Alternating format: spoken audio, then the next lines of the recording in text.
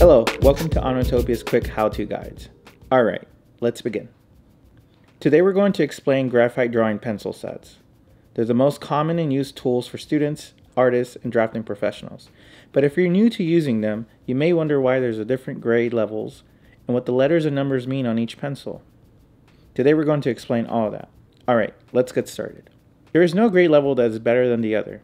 Each one has its own pros and cons.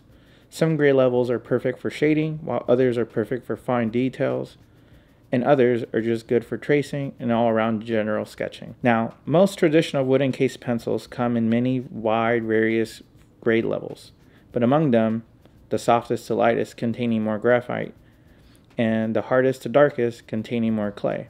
Grade levels are from lightest to darkest. So, the ones containing more clay are hardest slash darkest, and the ones containing more graphite are the softest to lightest. Grade levels differ from their values and have each their own practical uses.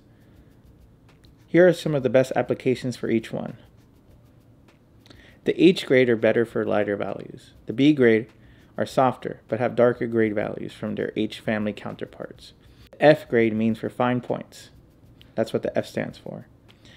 Its grade level is harder, but it has sharper points. The 2H to 9H grades. This means the grade levels are harder and the higher the number, the lighter the value of the pencil is.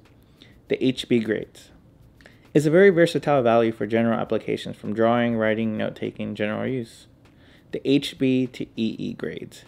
Remember, the more B's, the darker the value system is. The HB system is made up of numerical values. It's meant to showcase the blackness values of each pencil slash lead. Now explaining the general use of each grade level. Depending on your needs, each pencil plays a different role.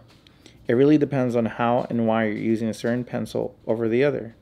Also, don't be afraid to mix the values. The full spectrum of each grade value family helps to create a better composition.